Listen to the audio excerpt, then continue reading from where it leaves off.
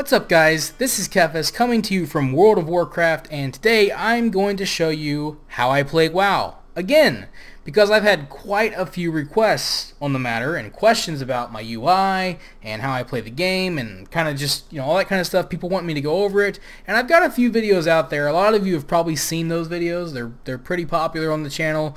But I just felt like, you know, I've made some updates and upgrades to my UI ever since I made those and I get so many requests that it just seemed like a good idea to kind of go over the whole thing again. So the reason why I'm doing this is because I am legally blind. I can only see out of my right eye. My vision is like 20 over 200 and that's on a good day, which means that I am extremely nearsighted and I have like no peripheral vision at all. So I sit right up in front of like a 32 inch TV screen and when I'm looking at Kephas, to give you an idea, if I'm looking at Kephas right now, this is about all I'm able to see. And so you can imagine that in a game like World of Warcraft where you have a UI and you have all these crazy different things that you need to look at to keep yourself alive and keep yourself playing efficiently, it can get kind of difficult. So over the years, I have continued to develop, it's always a work in progress, but I've continued to develop a system and a UI that works for me. And so if you're visually impaired and you're playing WoW, you might enjoy this video. And if you're just someone that likes the game and is curious about stuff like this, you might enjoy this video. And if you've seen videos that I've made before that are similar to this and this is repetitive for you, I apologize, but hopefully you'll enjoy this anyways because you're awesome. So, Let's get into it. Now let's show you what my UI looks like. There it is. Bam! Elv UI is what I'm using now. It's the key mod to this new system that I'm playing with. I've had a lot of people recommend that I give Elv UI a try. Um, to give you an idea, this is what my old UI looked like. It was pretty cluttery, uh, and before that it was even more cluttery. But um, I've made a lot of changes, and since I make YouTube videos now, I kind of wanted the UI that was prettier, kind of easier to look at. I mean, I hope this is this is pretty to me, but you know, beauty is in the eye of the beholder. You know what I'm saying? But uh, this works for me, and I feel like it's a lot better to look at. It makes me see more of the game. I have never been able to see this much of the game at one time. I just want to take a moment. Oh, okay, moment's over. Anyways, so Elv UI is the key mod, and Elv UI covers you everything. I mean, look at this. These are all the different modules from Elv UI. It's one mod, and it's allowed me to replace so many different mods. I'm able to manage my action bars, my bags, buffs and debuffs, chat, data tests, texts, I can't read for obvious reasons, which, you know, those are like Titan panel. If you see down in my bottom left corner, that's data text. You know, my gold, my durability, and even my FPS, which is kind of nice to know. And I'm able to kind of even keep track of like things like nameplates, uh, even changes the skins, kind of gives it kind of a central theme, and it even manages my unit frames. And I can even add some additional features that the mod can do through other supportive plugin mods that people have made. It also has a lot of cool little things that it does, like automatically sells my junk, automatically repairs my gear. Even for chat, it allows me to have this little feature in because I can't read chat very often. I mean, like I said, I'm looking at Kephas. I'm in the middle of combat. What's what? Guess what? I'm not looking at chat. Because if I was, this is what I'd be looking at. This is all I would see. So as you can imagine, if I actually want to play the game, chat's kind of out of the question, which is why oftentimes I'm in Mumble or Vent or whatever you know voice chat system I can use. But this mod has this cool feature where if someone says my name in chat, it'll give me a sound notification. Let me know, hey, someone's trying to talk to you. So I should, you should probably take a minute to look at chat. It's a really nice feature. There are a lot of cool little features like that that the mod does. And so having a mod system like Elv UI that allows me to replace so many other mods and kind of compress the amount of memory that I need to use is a great boon. It also makes the UI look really pretty. It even manages font size. Like you can tell whenever I open up like my map here, we'll go to like a quest or something. Check it out. I have a different font face. The font's obviously a little bit bigger. ElvUI controls that too. So I have a lot of people ask me what's a good font mod. Uh, the one that I was using was so out of date, hadn't been updated in a long time, and it's hard for people to find a good one. I recommend just using ElvUI. If you are visually impaired, or you have some sort of like just you need a special kind of UI, I recommend giving ElvUI a try first and seeing if that works for you. I'm not going to go over configuring it in this video because there are a lot of great guides out there and it's also really easy to do. I mean there's really nothing that I, I haven't done much. This is kind of the basic setup. I just kind of made a few little adjustments here and there, um, made some things a little bit bigger, some things a little bit smaller, and kind of gone from there. Now, some of the cool things that you can do with the mod, like um, one of the things is my unit frames. I've always had my unit frames in the top left corner, and I've come to realize that over the years, I've just gotten accustomed to having things a certain way, even though I don't really need to have those things that way. And one of those is my unit frames. I've always had them in the top left corner and it's always taken up space that didn't need to be taken up and I finally joined the dark side, if you will, and joined most people who have put their unit frames above their action bars. It makes more sense. I mean, you look down, everything's there. Unit frames are all there, down there with my action bars. I look at the same spot, everything is there. Makes perfect sense. So that's what I'm doing now, and also like keeps my top of my screen freed up so I can see what's going on in battle and in the field and all that kind of stuff. It's just so much better. I even have a little uh, mod addition, a little plugin that allows me to have the elite graphic over mobs that are elite or are rare basic ElvUI will just put like an E or an, or an R or a plus sign or something like that next to something that's elite and that doesn't work for me because even though I'm visually impaired I'm still a visual person. I'm artsy I'm creative and I see things I take visual cues and it's just kind of hard for me to see a little E or a little R next to something to let me know that it's elite. So having this in there really helps that out a lot. But I don't use my unit frames a lot. They're just kind of there for very very rare selective situations that I might need to use them. And it's kind of the same for most things, really. I don't even look at my action bars very much. It's all muscle memory at this point. I mean, I've been playing this game for like nine years. So how often do I need to look at my action bars? Not very often. Um, so having ElvUI kind of customize all that, kind of make it kind of have a central theme, allow me to kind of focus on everything at once through one mod, one of the best decisions I have ever made is switching to ElvUI. And so even having a module for uh, Skada and having a place to keep Skada organized is really nice. So that's kind of ElvUI, and like I said, I'm not going to go over it in detail because there are a lot of great mods out there. It's really easy to set up. But some of the other key mods that I want to go over besides ElvUI um, are like, okay, for example, I use a mod called GNOME Sequencer. That's the other big important mod that I use. And a lot of you probably are familiar with that because you've seen my rotation guides. I try to make some pretty helpful basic rotation guides for new players uh, for, for different classes in the game. And I also include a macro system in there. I use a mod called GnomeSequencer which allows me to create very robust macros through the Lua system, uh, the mod system in the game. And that's really handy, uh, obviously, because it allows me to, you know, play the game my way, which is allowing me to have robust macros that allow me to kind of kind of chain abilities together in one button so that way I don't have to have like 10 different buttons going on. I'll show you exactly how that works. I want to press one button and it's basically going to cover my entire rotation. I've already used Consecrate, I've used uh, Execution Sentence, I've used Avenging Wrath or whatever the crap. I forget the name of the abilities. It's kind of bad. It's one of the bad things is I don't pay attention to the names of the abilities. But as you can see, I'm going through my tanking rotation. I'm using Sacred Shield. I'm even, you know, all that kind of stuff is being used here, and I can control that uh, through GNOME Sequencer, allowing me to make some pretty efficient macros that way. Um, I'm not going to go over it in great detail because, again, I have a lot, I mean, I have so much to cover in this video, and I have a lot of pretty cool videos out there about GNOME Sequencer. You can just go to my channel and look up just rotation guides for WoW 6.0 and beyond. Um, and there's a GNOME sequencer kind of rundown, kind of a basic, you know, explanation of what GNOME sequencer is and how to use it and that kind of stuff. So you can check those out. But you know, it allows me to kind of not have to worry about my action bars because again, if I'm looking at my action bars, guess what I'm not looking at?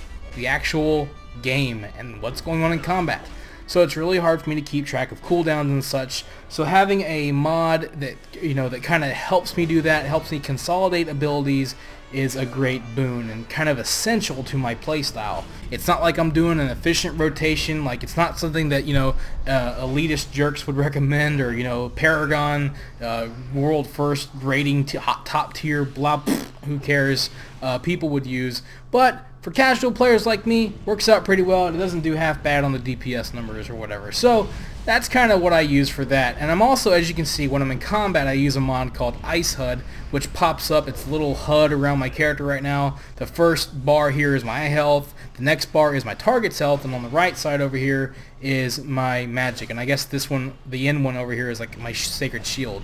Um, so that pops up, kind of helps me keep track of all the health info that I need to know because, you know, if I'm about to die, I need to know. But having it here means that I can look at combat and I can also keep track of my health at the same time.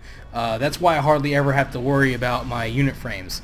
So that's kind of a big one. You know, uh, ElvUI also kind of covers the nameplates up here, which is nice because as you can see, uh, it'll uh, uh, sometimes whenever I have put a debuff on the target, it'll put that debuff above the nameplate, which is really helpful for me. Again, kind of keeping everything in the same area, which is very important. I know where to look on my screen, I know where to find things, and everything's kind of in the same area, which is huge for someone like me. That's kind of an important factor. So that's, you know, the very basics of those mods. Another uh, key mod that I use is one called Dugi questing essentials or something like that. Let me double check that. I want to go to add-ons here and make sure that's what it's called. Yeah, Dugi questing essential is a really cool little mod. It's mostly useful for leveling, but basically what it'll do is it'll automatically accept and turn in quests.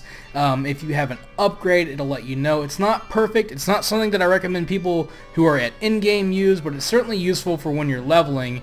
And so it'll automatically accept, automatically turn in. It'll even let you know, like, if you have multiple rewards, it'll let you know if a reward is an upgrade, and if it's there are no upgrades, it'll let you know which reward will sell the most. Because if you're not looking for an upgrade, the next best thing is to have a reward that sells the best.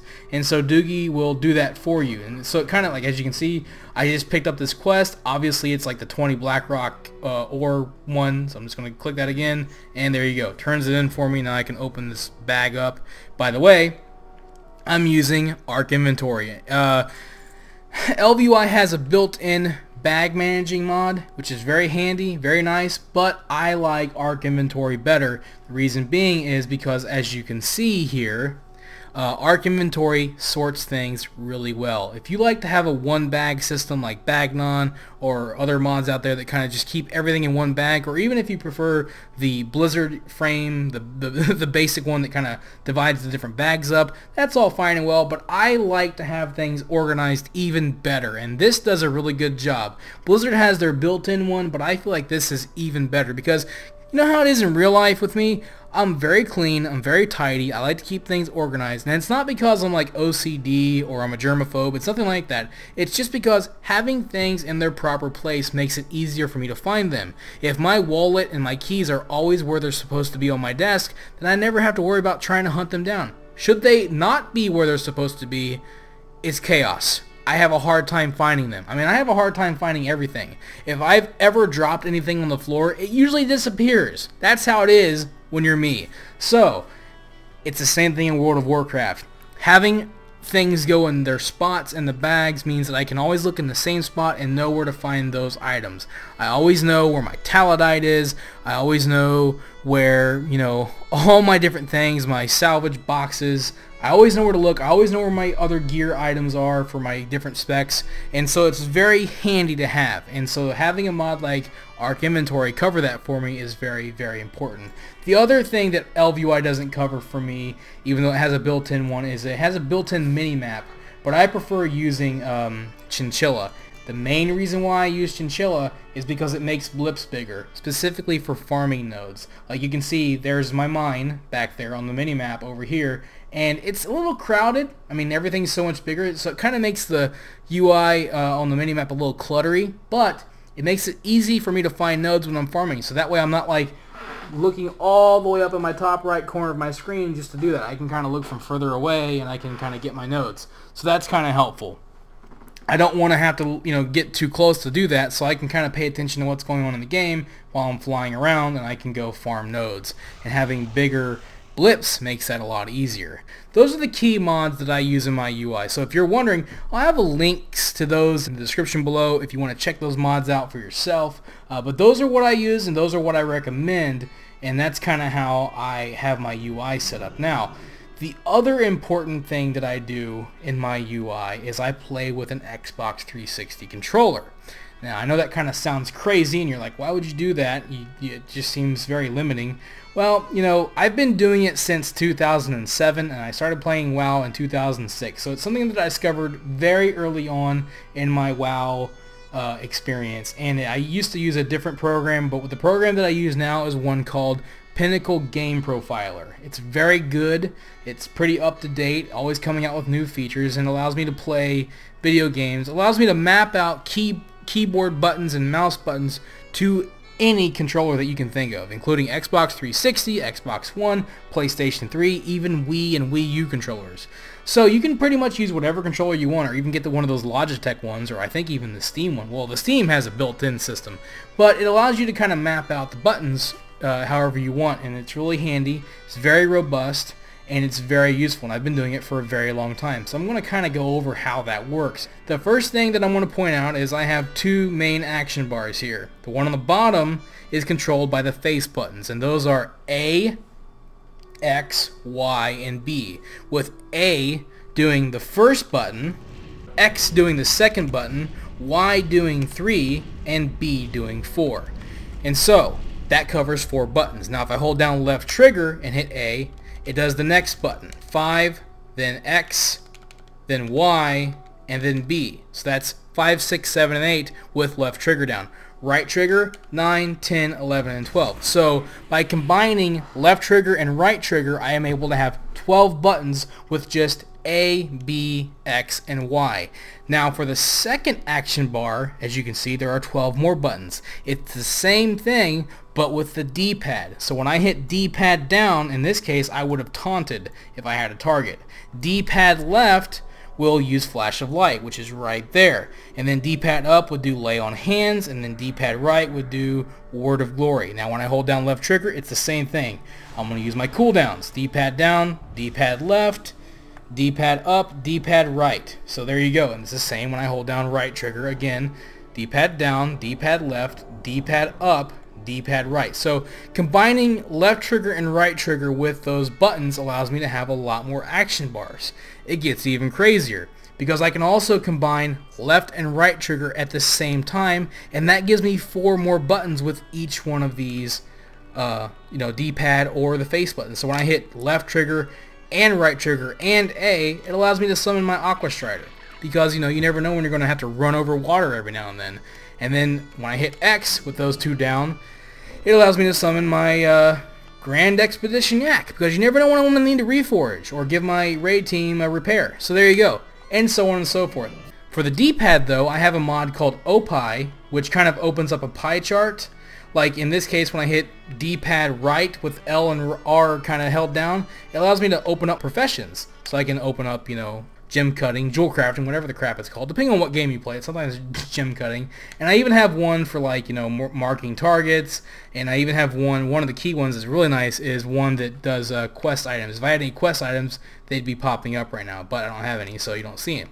So that's kind of how the action bars are covered. This gives me like uh, I don't know what. Uh, 20 over 30 around 30 or so different buttons that I can hit which is more than enough especially when I'm using you know GNOME sequencer to consolidate things.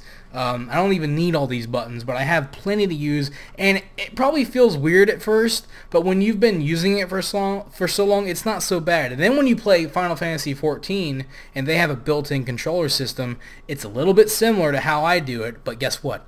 I did it first. So those guys should be paying me because I came up with the system first. As a matter of fact, when I went and played Final Fantasy XIV, I tried out their controller system wasn't bad, but I still preferred mine. So I turned theirs off and used my own system because I liked it better. Fun fact. But anyways, you know, it's not completely uh, ridiculous to think that you can play uh, MMO with a controller these days. Um, like I said, Final Fantasy XIV, Elder Scrolls Online, and I think even TERA has a built-in controller support now. So it's out there, and it's very common these days. I'd love it if Blizzard would add a built-in controller support to WoW for people, just because it'd make things a lot easier, but I doubt they ever will. But you never know. Um, other than that, I mean, you know, obviously left thumbstick moves my character, right thumbstick moves my mouse, uh, left bumper is left click on the mouse, right bumper is right click on the mouse, so if I hold down left and right bumper at the same time, I move forward just like it would be if I was using a mouse. Uh, sometimes I'll switch over to my mouse when I'm doing like interface things like, um, you know, auctions and that kind of stuff, or managing my you know, bags. It just a lot, makes a lot more sense to switch over to the mouse real quick. You know, clicking on things like, holy crap, I have like a full freaking uh, Garrison stock going on here. It's crazy. Um, you know, but, you know, other than that, you know, it does work pretty good. It's really useful for moving the camera around like I'm doing right now. Time I move the camera around. Um, and so those are, the, that's what the joysticks do. Uh, that's how I control the mouse and movement, stuff like that. Um, I like to strafe. I don't like to turn my character with a, with a joystick. That's, no one turns their character uh, without using the mouse. So strafing is key.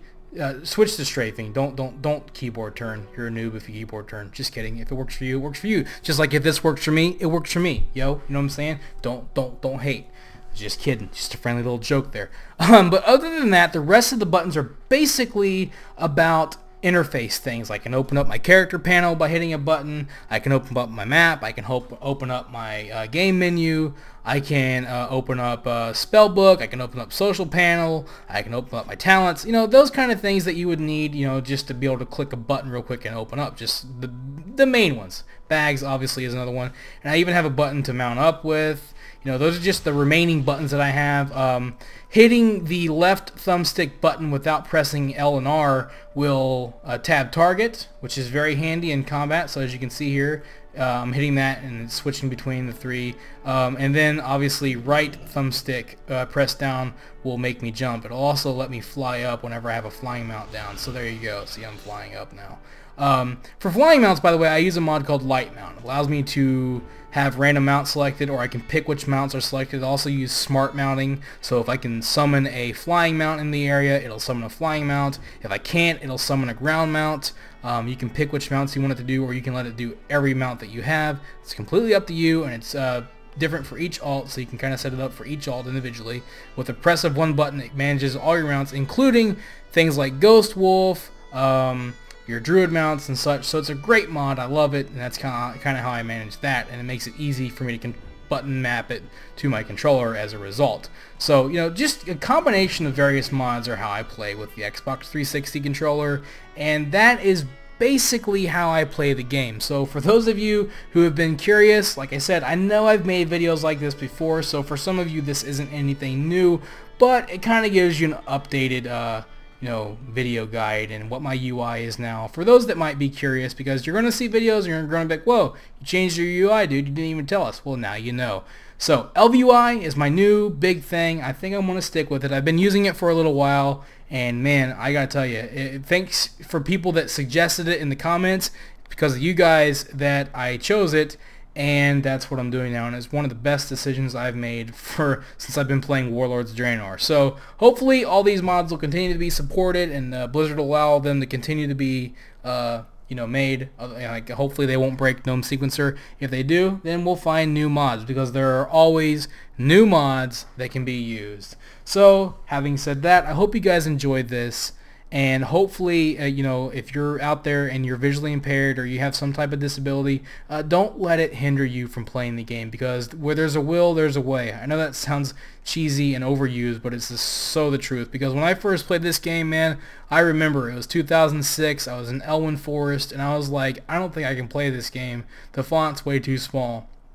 And that's how I got started. I found the font mod on Curse and that's kind of the you know that's all she wrote. After that it was just one mod after another and continuing to upgrade. And I'll tell you what I've uh, I've really had a good time with this game. And you know I, by all rights I shouldn't even be able to play with with how my vision is but yet I do and I have a pretty good time doing it. So you know, having said that, it you know, and to be able to make videos uh, beyond that is even even really even more awesome. And it all started with videos about how I play WoW uh, as a visually impaired person. So man, I hope you guys I hope you guys enjoyed this. I hope you. Uh, you know, I hope it was helpful. I hope that, you know, like I said, I know for some people it might be a, uh, you know, a rehash of things that I've said a thousand times before. Uh, but it's always nice to kind of go over again because I want to have as much support out there for people that I can and people that, like I said, might be like me or might have other conditions where something like this would be uh, extremely useful. So, you know, I'll have links to all these different things I've talked about. I'll have a link to Pinnacle Game Profiler. I'll have a link to the various mods that I've mentioned in the description below so you can check those out. And of course, if you have any questions, please feel free to leave a comment in the comments and I will try to get back to you as quickly as possible. You guys rock. So if you enjoyed this video, let me know by hitting that like button. And if you found it informative, perhaps you'd like to inform your friends by sharing it with them. And don't forget to subscribe if you'd like to see future videos on this channel. Thanks for watching, have a wonderful day, this is Kephas, until next time.